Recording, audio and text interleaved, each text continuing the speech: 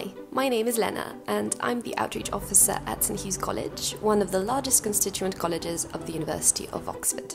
Here are some key questions that I'm usually asked by prospective applicants that this video will answer. We take around 120 undergraduates each year across 23 subjects, and we accept students for most courses offered in the university. There's no other subject where you can learn literally everything about how the entire universe works. Answer questions about how we came to be, why we are. I wanted to study music because it was one of the main passions in my life. History, literature, art. What is living at St Hugh's really like? The college is set in 14 acres of beautiful green space.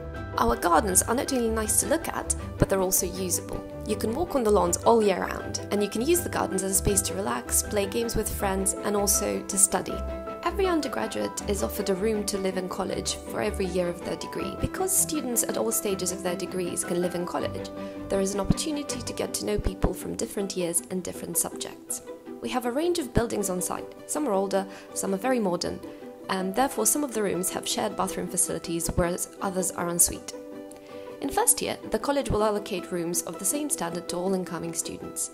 After this, the students organise their own ballot, and so everyone gets to choose what type of room they would like. There is, of course, also the opportunity to live out in town after your first year.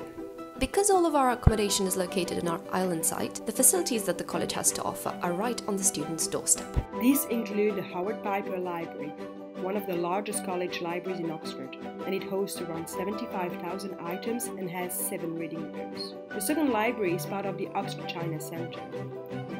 Because it is in effect a departmental library, students can order books from other Oxford libraries to be brought there, which is very convenient. We have a dining hall where three cafeteria style meals are served each day during the week and brunch at weekends, which offers a lot of flexibility.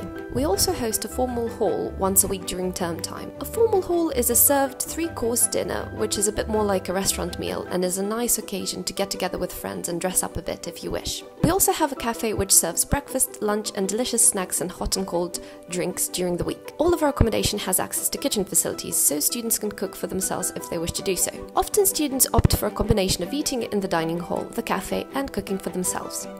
St Hugh's also has a gym on site, enough green space to play ultimate frisbee on, and its sports grounds are only five minutes up the road. There are over 20 clubs and societies within St Hugh's, and many social occasions and celebrations are organised by the college for everyone to enjoy. There is an extensive welfare support network within the college, including myself, college nurse and wellbeing coordinator, as well as the college counsellor, chaplain, and disability coordinator. And finally, our most important asset, the college cats. They roam freely around the college grounds and buildings so students and staff can play with them or pet them. Thank you very much for watching and please get in touch with us if you have any questions.